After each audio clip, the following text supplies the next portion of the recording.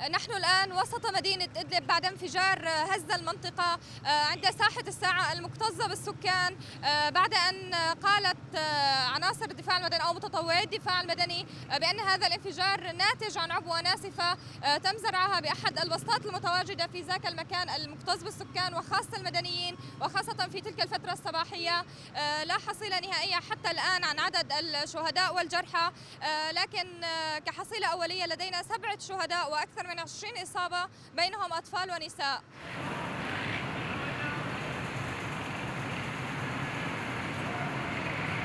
نحن قاعدين عم نسترزق الله عنا بسطات كونه هون أغلبية العالم فاتحة بسطات وعم نسترزق الله.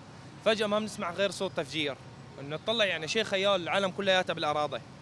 لما صارت العالم بالأراضي اجى الإسعاف وإجت الإطفاء والله يعطيهم العافية أسعفوا العالم بس كان في كثير ضرر للمدنية. كثير عالم تشطحت بالأرض تصاوبت.